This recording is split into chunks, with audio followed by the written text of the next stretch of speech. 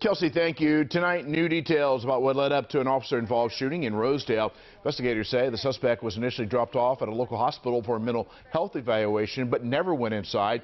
They say he then went to the Rosedale area, where witnesses reportedly saw him with a knife and blades cutting down branches, and that's when he was in the middle of the road swinging a long chain. Officers encounter the suspect near Philadelphia Road also ordered the suspect to sit down, but investigators say he ignored commands and began running at the officer. Police say the officer moved back, but the suspect continued to advance. That's when the officer fired his gun, hitting the suspect in the upper body. The suspect was taken to a local hospital. He was conscious and alert.